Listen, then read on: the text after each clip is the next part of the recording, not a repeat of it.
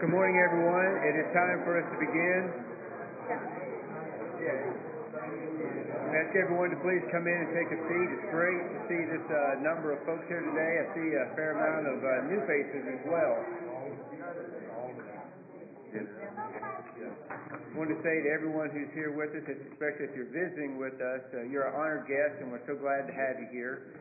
If you could please fill out a visitor's card that you'll find on the back of the pew in front of you, and drop it in the collection plate uh, that we have on the on the foyer, um, where you picked up your communion kit. That would be a, a great opportunity for us to continue correspondence with you, and uh, also ask you to stick around for a few minutes and let us get to know you uh, before uh, before you take off. We do our normal announcements at the end of worship. Uh, so just a couple of other quick things. If you have a cell phone, we ask everybody to please uh, turn that off or set it to mute so we're not interrupted during the worship.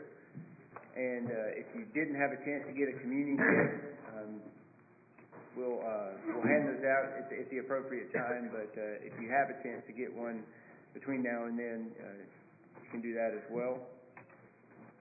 And let's go to God in prayer to begin our worship. All powerful Father in heaven, we humbly come before you this hour, Father. We praise your name, we glorify you, and we, we thank you so much for the many blessings that we enjoy because we are your children. We pray, Father, that you will continue to bless us and, and help us to, to look to thee for strength and guidance in all things. We pray, Father, now that as we worship you, that our our thoughts and the intents of our heart will be on glorifying you and praising you and doing the best that we can to worship you uh, in accordance with your your word, the things that we find in the in the New Testament that that describe how your church in the first century worshipped you. We pray, Father, that you'll please help us to set aside distractions of this world that would take us away from that purpose. Dear God, we thank you so much for Jesus, and we thank you for the hope of eternal life that we have because of the sacrifice he made for us on that cross. Father, we know there's nothing more precious in this universe than the blood that was shed for us so that we may have a hope of eternal life. We pray, Father, that we'll live our lives daily knowing that we belong to you and that we'll do our best to avoid even the beginnings of temptations so that we may stay on that, that straight and narrow path. We pray, Father, that you'll please be with the members of this congregation who are suffering, whether it be physical, spiritual, emotional. We pray, Father, that those of us who know them and love them and are aware of the situations will help them and, and let others know what's going on so that we may collectively reach out and embrace them and do all that we can to help them in their time of need. But ultimately, Father, we know that it is you who provide for us. And we pray, Father, you will continue to do these things.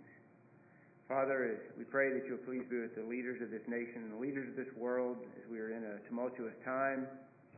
Pray, Father, that cooler heads will prevail and that, that an atmosphere of peace can be restored throughout so many parts of this world so that your gospel may be spread, Father, and, and the lost may be reached. We pray, Father, you'll please be with the congregation's evangelism efforts, the things that we've embarked upon this year. We pray that you'll help each of us to see the, the path ahead, that, that we will be energized, that we will be excited, and that we will commit our time and our energy to doing our best to make these things successful. But ultimately, Father, we know that this is one key way that we will, will help your church grow in this community. Father, again, we thank you for all that you've done for us, and we thank you for Jesus, and we pray that you will help us to live our lives in such a way that we'll be found faithful on that day of judgment. In Christ's name we pray. Amen.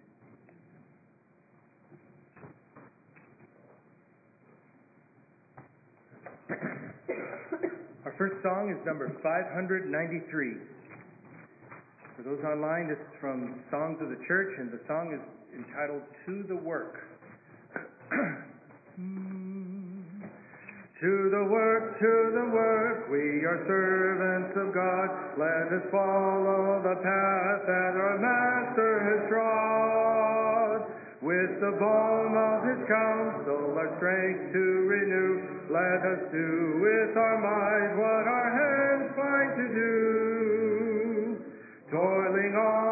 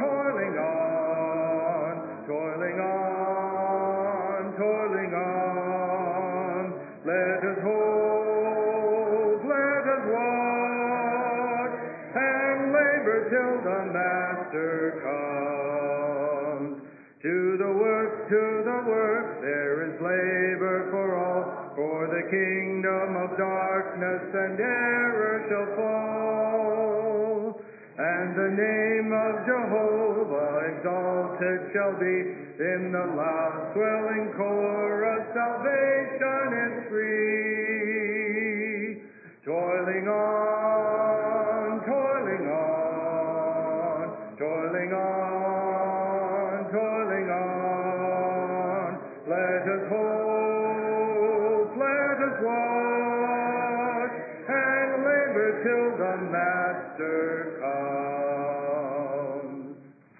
If you would mark number 482 as our song of invitation after the lesson, number 482. And that song is We'll Work Till Jesus Comes.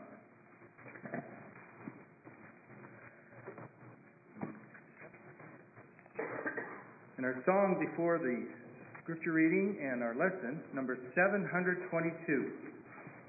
Work for the night is coming.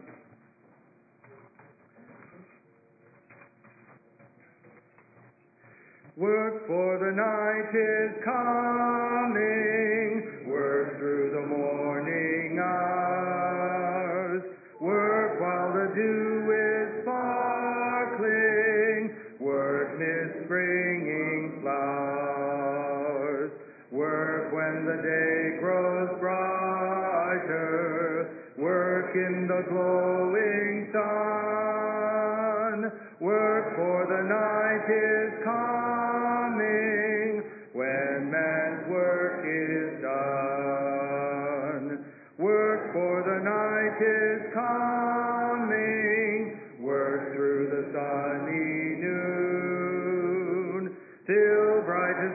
hours with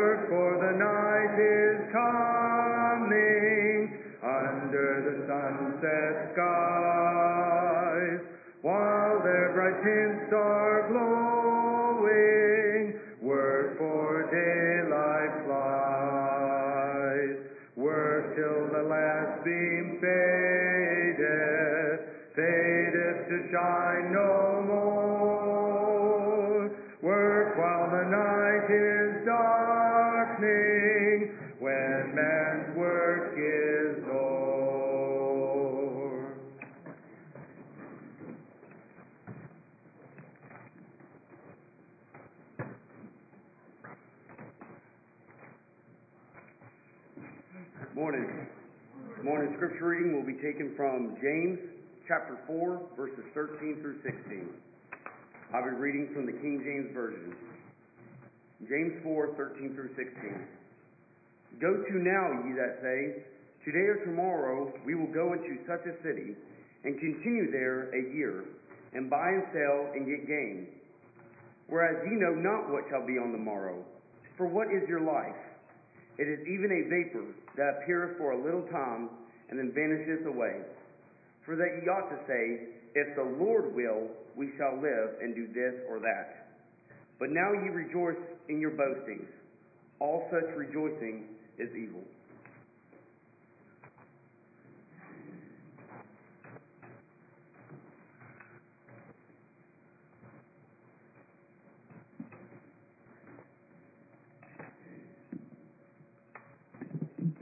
Good to see you all this morning. Good to have all of you here. We have several people who are visiting with us. Uh, whether you're passing through or moving in, we're glad to have you with us. Hope you'll fill out the card. If you'll fill out the card, we'll send you a letter. It will remind you of who we are and where we are and the times of our services, and maybe that will encourage you to come back and be with us again. I attended a high school graduation a few years ago, and I was not all that familiar with the high school, was a member of the congregation that was graduating, and as I sat there and I listened to a number of small speeches that were kind of sprinkled in among the activities. But there was one that particularly caught my attention. I got the impression from the man as he was speaking, he wasn't speaking to the general audience, he was speaking to those who were graduating. And he was reminding them that while they had been in that school, one point that had been consistently emphasized was the decisions you make in life. Much of your success in your academics, much of your success in your career, much of success in life is about the decisions that you make. Well, I had to sit on my hands to keep myself from jumping up and saying, Amen. It's about the decisions. Christianity is largely about the decisions. With our decisions, we decide what we're going to do, do we decide what we're not going to do, and with our decisions, we decide the priority order of the things that we're going to do. Choices are critical. So with that in my mind from a few years ago, I recently ran across a list. This particular list was by Bobby Duncan. I'm sure there are many others of decisions that were made in the Bible. This particular one was about decisions that are made in the New Testament. Decisions that are expressed with the words, I will. Turns out those two words, I will, are found nearly 200 times in the New Testament. And sometimes they are spoken by a person who has very serious intent and purpose, but that's not always the case. Sometimes those words are spoken very lightly. Sometimes those words are spoken very foolishly. So I want us to look at some of the passages this morning, not all 200, but just a few of the passages where somebody's making a decision and they're using those words, I will. But sometimes the telltale thing is there are other words mixed in there with it. First, what I would consider a selfish and even a foolish I will. Remember the guy with the barns, the man with the barns in Luke chapter 12. He used the words I will. Luke chapter 12, Jesus spoke a parable to them, saying, The ground of a certain rich man yield plentifully, and he thought within himself, saying, What shall I do since I have no room to store my crops? So he said, I will. I will do this. I will pull down my barns and build greater, and there I will store my crops and my goods. Well, of course, there's a sense in which we have to make wise decisions about our finances. We have to make wise decisions about our businesses. But in this way, in this particular instance, his I will, either it was or it tended to kind of evolve into an I will of arrogance. And his overconfidence is explained in the passage. The man bragged to himself. This is Luke 12, 19. And I will say to my soul, Soul, you have many goods laid up for yourself. Take your ease, eat, drink, and be merry. In his arrogance, he forgot about God. the problem was that God didn't forget about him. God did not fail to take note of him and his arrogance. Verse 20, but God said to him, Fool, this night your soul will be required of you, and then whose will those things be which you have provided? So is he who lays up treasures for himself and is not rich toward God. We need to be careful with those words, I will. The natural meaning of the words I will is if I say I will, there's an implication that I think I have the power and the resources within myself to accomplish what I say I will accomplish. Well, in this story, this man was immediately and very directly reminded that his alleged unilateral power was not true. He did not have the power within himself to do the things that he said, I will do. And we find out that he was wrong. How wrong was he? He was so wrong that God called him a fool. And we know from other passages of Scripture that the Bible says, be careful how you use those words fool or foolish. God calls this man a fool. And in calling this man a fool, he implies that all of us who demonstrate a similar attitude are also behaving foolishly. This man's comeuppance was immediate and it was total. God said to him, verse 20, Fool, this night your soul will be required of you. You know, I think it's hard to miss the point there that we must not be too arrogant and overconfident in the things that we think we can do in this life. But if we miss the point there, I think it's even harder to mention over missing over James chapter four James chapter four, the passage read at the beginning of the lesson. James says chapter four verse thirteen, he says, Come now, you who say, Today or tomorrow we will go to such and such a city, spend a year there, buy, sell, make a profit, whereas you do not know what will happen tomorrow. For what is your life? It's a vapor that appears for a little while and vanishes away. Instead, you ought to say, if the Lord wills, we shall live and do this or that. But now you boast in your arrogance. All such boasting is evil. The most foolish people in the world are those who make their plans but do not include God. They make their plans, but they do not think about God. They do not think about His will. They do not think about His power. And I think we understand that principle. It's not the first sermon, I'm sure, to be preached in these passages. We know the principle. The question is, as we conduct our daily life, daily life each week, do we think about the principle? Do we, in a moment of self-absorption or even selfishness, do we too quickly say, I will, I will do this, I will do that? Those are dangerous words. I was thinking, wouldn't it be nice if, you know, we can set all kinds of alarms on our phone. Wouldn't it be nice if we could set an alarm on our brain, an alarm on our tongue, that just before those words, I will, come out, that little alarm goes off. Those are dangerous words. We need to be careful how we use them. I will. it's not always a good thing. Those words can also be dangerous words if we use them impulsively. And there seems to be an example of this in Matthew chapter 8. Matthew chapter 8, verse 19. Then a certain scribe came and said to him, Teacher, I will follow you wherever you go. Well, that sounds pretty good, doesn't it? Somebody who's wanting to follow Jesus, saying he will follow Jesus. In fact, there is an indication, at least in his mind, he intends to be a faithful follower. I will follow you wherever you go. What could be wrong with that statement? Why would I think there's something wrong with that statement? Well, because of the response that Jesus has to that statement. The clue that that might not be a wise thing to say is the reaction Jesus has to it. Next verse. And Jesus said to him, Foxes have holes and birds of the air have nests, but the Son of Man has no place to lay his head. What's Jesus doing here? I think he's reminding this enthusiastic man there is a price to be paid in following Jesus. Perhaps Jesus was discerned that the man was making an impulsive decision. The pledge to follow Jesus should not be an impulsive decision. It should be a very carefully reasoned decision. I know over the years when I've had an opportunity to sit down with people, in the Bible, and show them the scriptures and explain to them how to become a Christian, I am always, I don't think that's an exaggeration.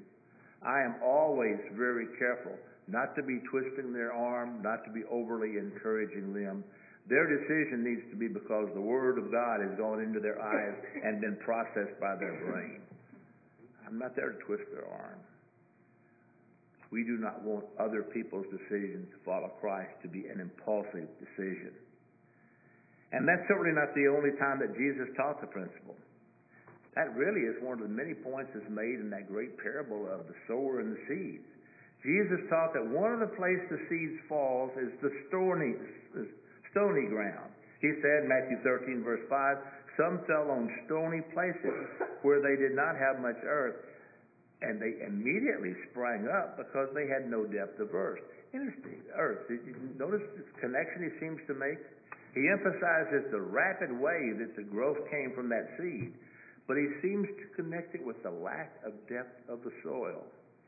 He said they immediately sprang up because they had no depth of earth. And then later down in verse 18 and following, when he explains the parable, he describes the danger that can result from an impulsive decision to follow Jesus. Jesus said, this is verse 20, but he who receives the seed on stony places, this is he who hears the word and immediately receives it with joy, yet he has no root within himself, but endures only for a while. For when tribulation or persecution arises because of the word, he immediately, immediately stumbles. Jesus warns again. Following Jesus is no bed of roses. There is going to be a price to be paid. And then Jesus gave another example at the very point. He said, If anyone comes to me and does not hate his father and mother, wife and children, brothers and sisters, yes, and his own life also, he cannot be my disciple. That's what Jesus said, Luke 14, 26. and whoever does not bear his cross and come after me cannot be my disciple. For which of you, intending to build a tower, does not sit down first and count the cost, whether he has enough to finish it? You know, you might think Jesus and his language would be saying, Oh, come on, come on, become my follower. We'll just work it out as we go along. That's not what he says. Count the cost. You would have the good you would have the good judgment to do that if you had some physical project. Says you don't want to start a tower and not be able to finish it. People are going to look around and say, "Look here, he started his tower and he can't finish it." To be real, a real follower of Jesus, our commitment to Him must be the number one thing in our lives. It must be even more important than family. Those who decide impulsively to be a follower and do not carefully and thoroughly consider the cost they're going to be like that plant on the stormy ground or like that seed on the stony ground. They'll spring up quickly and fade away in difficult times. How many people are that way? They decide for some combination of reasons in the present moment that they want to be a follower of Jesus, but without ever considering the extraordinary commitment that it takes to really be a Christian, to sincerely and thoroughly be a follower of Jesus. And they do all right for a while until they're called upon to give up something. And in general, I think we probably do not have the ability to understand the strength of our commitment until that commitment is challenged, until that commitment is tested. What about us? what will it take in our lives to challenge our allegiance to Christ? Sickness? Your sickness? Sickness of a family member? COVID? Death? The loss of a relative? Or maybe the loss of a relationship? The loss of a job? We need to be strengthening ourselves. We need to be growing those roots that can help us continue to be strong in difficult times. How do we do that? I, I would just suggest to you we need to be building relationships with people that we know can help us if we have a time that's a struggle in our life.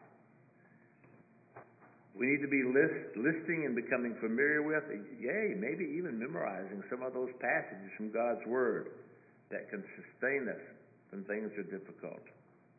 And then it seems to me like one of the best ways to prepare ourselves for difficult times is for us to go to those who are now having a difficult time. If we can learn how to be a help to them in their difficult time, I think that's going to help us in our difficult time. When you became a Christian, I'm asking you. I think this par- in these in these stories, in these in these parables, and in these illustrations, Jesus is warning us to ask ourselves: When you became a Christian, when your statement of "I will follow Him" was it a thorough and heartfelt commitment, or was it just an impulsive statement? Time will tell. Circumstances will tell. We need to be preparing. The third I will is an I will of pleasing other people. one of the rather startling examples of this occurred when Jesus was tried before Pilate. You remember the account. After examining Jesus, Pilate concluded, this is Luke 23, I have found no fault in this man. Two verses down, I will therefore chastise him and release him. Interesting if you think about it. if he found no fault in him, why would he chastise him? Why would he beat him? Well, I think from the context we find out what he was going on in his mind. Pilate was trying to walk that line, that narrow line between following the law and pleasing the people. He was willing undeservedly to beat Jesus to please the people. But he wanted to release Jesus because he knew he had no lawful reason to continue to hold him. Well, if you think things are bad there, look a few verses down. They got worse. Verse 22 of chapter of Luke 23. Then he said to them the third time, What evil has he done? I found no reason for death in him. I will, therefore, he says, chastise him and let him go. But they insisted, demanding with loud voices that he be crucified, and the voices of these men and of the chief priests prevailed. In the end, the weak willed Pilate was willing to kill an innocent man willing to kill a godly man. Why? In order to please the people. A very dramatic instance of the I will of pleasing others. But that's not the only example we have in the scriptures. That's not the only example of great consequence that we find in the scriptures. We see one in John chapter 12. John chapter 12, verses 42 and 43, John records, Nevertheless, even among the rulers, many believed in him, but because of the Pharisees, they did not confess him, lest they should be out, put out of the synagogue. For they love the praises of men more than the praise of God. It would be hard to find the set of words that expressed it more clearly than those set of words. Another unmistakable case of the I will of pleasing other people. And you look at this case and you say, well, this is not so dramatic. Nobody died. Nobody died, but God was denied. When they refused to acknowledge Him and confess Him, God was denied the recognition and the honor and the glory that was due Him. And I think this example, it's a lot closer to home maybe than the Pilate example. We'll probably never be in the place that Pilate was in. But we can certainly do things and say things that will keep God from getting the glory that He is due. Maybe down through the years, down through the decades, down through the generations. Maybe one of the greatest problems of God's people is the fact that they are more interested in receiving the praises of men than they are the praises of God. How many churches today are willing to join the ranks of those who are willing to omit part of God's doctrine in order not to offend the people. They don't want to offend the people.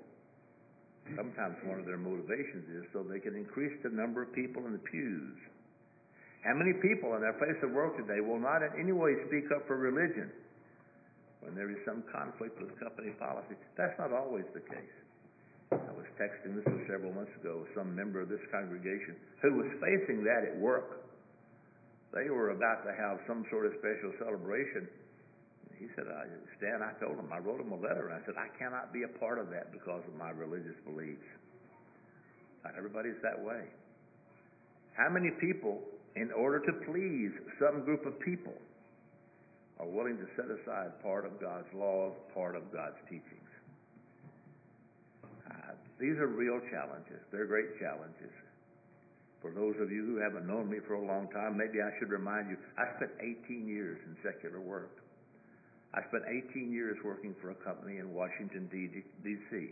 There are a lot of things that flow around up there in terms of requirements and opinions. I know what this is like. You should never underestimate the challenges that can come today to give into that I will of pleasing people. The fourth kind of I will, I would call the I will of conditional submission. The words I will are there, but then there's the word but. The words I will are there, but then there's the word except. We might think of the man in Luke chapter 9 who said, Lord, I will follow you, but let me first go and bid them farewell who are at my house. He's got the magic words, I will, but he's got this other word, but. Now, I think when we look at this, we say, what can be wrong with that? The man wanted to go say goodbye to his people. It's nice to say goodbye to family. But Jesus' response, the next verse, verse 62, is not much of a reassurance to the man. Jesus said to him, No one, having put his hand to the plow and looking back, is fit for the kingdom of heaven. There are some things that are more important even than family. And following the Lord is one of those. Remember Jesus' admonition, Matthew ten thirty seven. He who loves father or mother more than me is not worthy of me, and he who loves son or daughter more than me is not worthy of me. We've talked before those words love, even the word hate is a priority kind of word. Jesus says, yes, you can love them, but the priority has got to be our love, our allegiance, our service to our Lord. Family is important. But anything that stands between us and our service to the Lord really is effectively an idol. Anything that stands between us and our service to the Lord, anything we put above our service to the Lord, it, it needs to be it needs to be reprioritized. It needs to be moved down on the list. The I will of conditional submission. It's not really submission at all. The last one is going to be the I will of unconditional submission. We talked about the I will of conditional submission. I will accept. I will but. Well, in stark contrast to that is the is the I will of unconditional submission. And it really it takes only one example to understand the difference between those two. That's the example of our Lord in the garden. First, Jesus pled with his followers to be with him in his time of sorrow. And I would suggest to you the sorrow, it was a time of dread. Terrible things were going to happen to Jesus the next day. Did he know those things were going to happen? Absolutely. Would he have been familiar with the scriptures? Would he have known about Isaiah 53? He would have known about it, and he would have known that it was about him. Isaiah 53 verse 5, but he was wounded for our transgression. He was bruised for our iniquities. The chastisement for our peace was upon him, and by his stripes we are healed. He knew what was coming. he was seeking a little bit of comfort and consolation. So he said to them, this is Matthew 26:38, My soul is exceedingly sorrowful even unto death. Stay here and watch with me. But we know the story.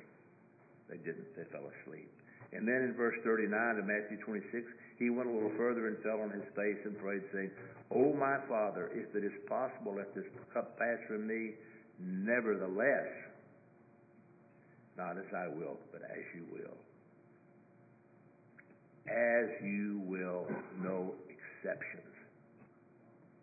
That's the I will of unconditional submission. And we know the life of our Lord, that particular example of unconditional submission was only a part of his total commitment, only a part of his submitting to God. Hebrews 5, 8 and 9, though he was a son, yet he learned obedience by the things which he suffered. And having been perfected, he became the author of eternal salvation to all who obey him. What must we obey? Well, we can look in the example in the Bible, in the New Testament, example of those who became followers of Jesus. We see that they believed in Him, they were willing to confess Him, they had a change of heart. It's called repentance. 2 Corinthians 7.10, the Apostle Paul writes, Godly sorrow worketh repentance unto salvation. That repentance is connected with salvation. Romans 10.10, the mouth is, with the mouth confession is made unto salvation. And then Jesus gave this command. When he sent his apostles out, he commanded them to baptize the people who were going to be his followers. Matthew 28, 19, go therefore and make disciples of all the nations. How are disciples made? Well, it's that ing word that tells us how. Baptizing them in the name of the Father and Son and the Holy Spirit. When a person makes a decision to follow Jesus, they need to make a clear distinction between conditional submission and unconditional submission. Which did you do? What was your meaning? What was your intent when you decided to become a follower of Him? If there's any way that we can help you this morning, we would be glad to try to do that if you'll come forward as we sing. Oh, land of rest,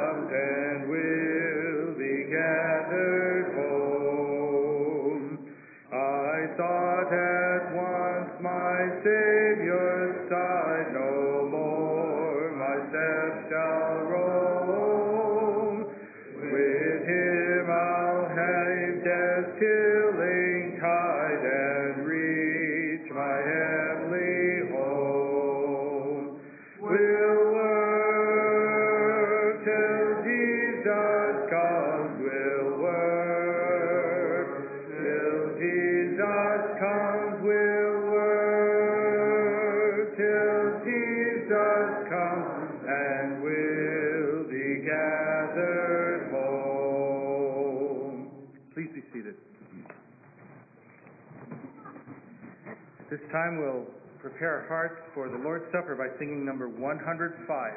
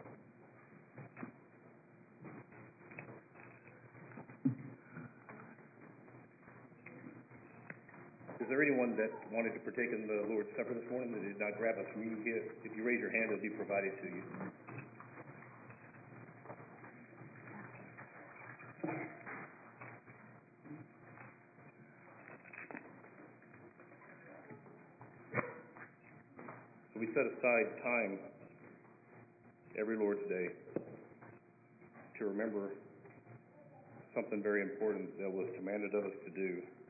And to prepare our hearts and minds, I wanted to read from Isaiah 53, starting in verse 4.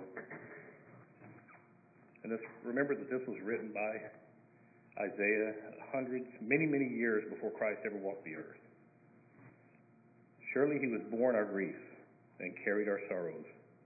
Yet we esteemed him stricken, smitten by God, and afflicted. But he was wounded for our transgressions, he was bruised for our iniquities. The chastisement for our peace was upon him, and by his stripes we are healed. All we like sheep have gone astray. We have turned every one to his own way. And the Lord has laid on him the iniquity of us all. He was oppressed and he was afflicted. Yet he opened his mouth not. He was led as a lamb to the slaughter, and as a sheep before the shearer was silent. He was taken from the prison, from judgment, and, and who will declare his generation? And then at the very end of the same chapter, it continues, because he poured out his soul into death, and he was numbered with the transgressors, and he bore the sin of many, and made an intercession for the transgressors. Brothers and sisters, we are the transgressors. This morning we take this time in our worship to remember Christ, his body that was broken for us. And at this time, please, please bow your heads and join me in prayer. Heavenly Father, we give thanks at this moment specifically for the body of Christ and the blood that was shed for, for our sins. Heavenly Father, as we partake in this bread, help us to remember that body that was given for us in pure grace. It's in Jesus Christ's name we pray. Amen.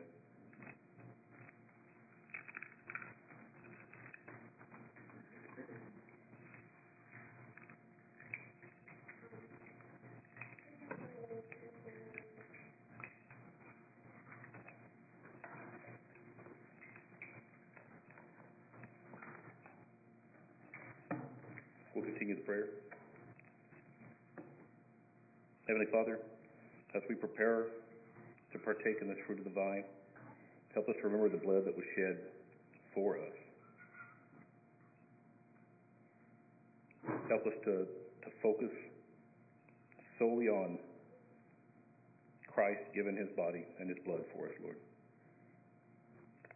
And for us to give thanks for that. It's in his name we pray. Amen.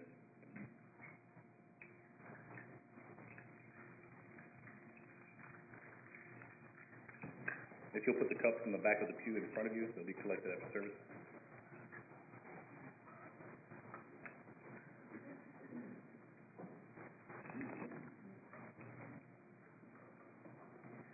In lieu of passing the plate around now, we, uh, as we would traditionally have done, we have the collection plate placed on the table where you picked up the communion kit. If you intended to give this morning, please put your, uh, your contribution there on your way out. Again, we want to welcome our visitors and thank everyone for being here this morning. We have a pretty good number here in the auditorium. Uh, Can't really tell how many people are online, but uh, we're glad to have you with us as well. Uh, Please uh, make time, if you're visiting with us and just passing through, please uh, come back and be with us again if you have another occasion. If you're in the area, you're looking for a congregation, you're interested in what you saw here, uh, please speak with one of us, and we'd like to talk to you more about uh, about what we have here at this congregation. Uh, So as we've done for the last several weeks, um, our, the, the people that are on our prayer, uh, contact cards, our personal bookmarks that, uh, for, related to our evangelism efforts, do we have anyone who has any prayer needs, uh, for, for those lists? All right. If, uh, if you don't want to raise your hand right now, but you have somebody that you'd like to have added to, to the con- compassion card list, please see me, uh, immediately after services, and we'll give you the contact card and get their information from them, and we'll make sure they get included in the, in the rotation for this week. Please continue to pray for everyone on our prayer list, as well as those that you have on your contact bookmarks. As was mentioned earlier, there's a congregational meeting uh, immediately after our worship. So what we're going to do is we're going to take a just a quick break uh, at the conclusion of the service here. And uh, if, if you're a visitor, uh, we, we do want to get to know you. We're, going to ask that you maybe stick around for just a few more minutes as we cover our evangelism efforts. Uh, it's mostly geared toward the, the congregation as we're ramping up our um, our local evangelism outreach program.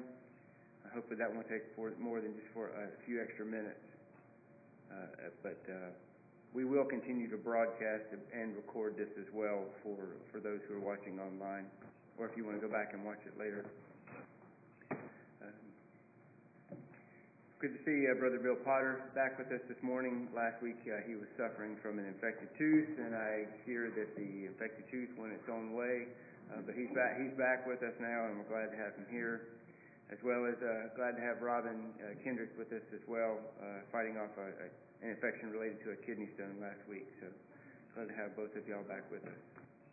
Uh, the youth have uh, some activities coming up this summer. I believe the first one is going to be starting on the 3rd of June uh, on Friday nights. It's a youth summer series and that are going to be at different congregations. I think more information is either posted on the youth bulletin board or will be soon.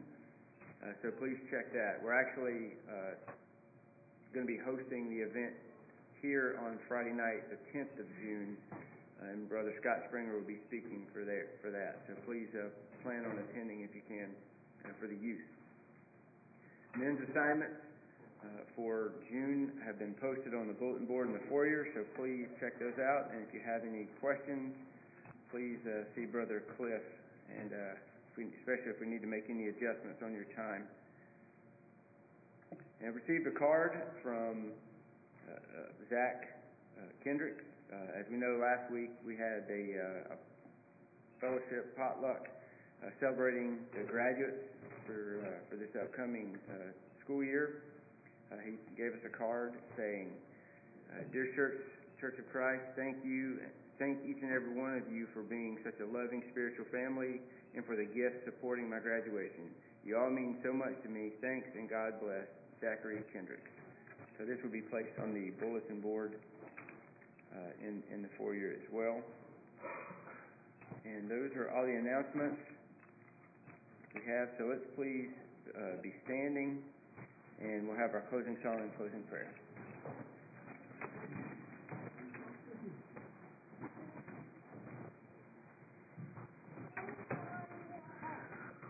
Number 721, Will Jesus Find Us Watching? We'll sing the first and last verses of this song. Mm. When Jesus comes to reward his servants, whether it be noon or night, faithful to him will he find us watching, with our lamps all trimmed and bright.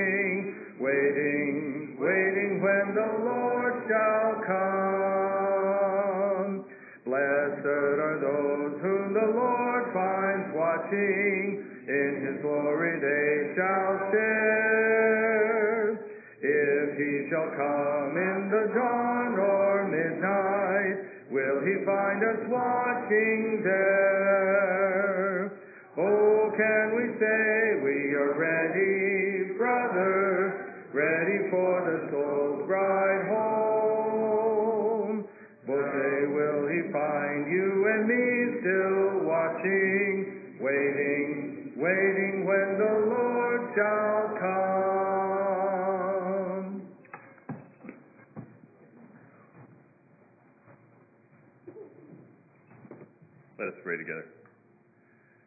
Dear Father in heaven, we bow to you at this time in thanksgiving to you.